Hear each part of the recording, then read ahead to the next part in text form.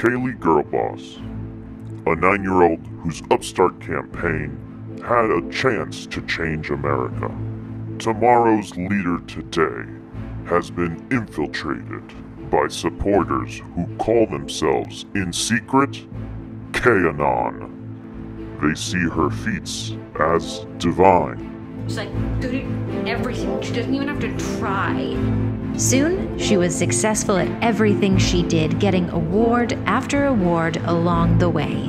She was able to like get every single one of her eggs to hatch.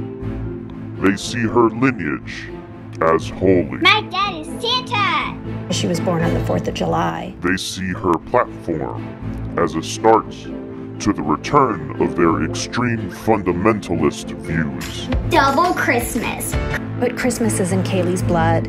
She really gets it and knows what it means to the American people. At her convention, they showcased their extremism in front of millions on live TV. In honor of that prayer we just did, I will ceremonially cut away something I no longer need. And upon seeing Kaley give her remarks, again, their extremist views were present. They believe Kaley to be the chosen one, and only she can save the country. Even her fandom of birds is taken and as she a studies symbol. birds every day.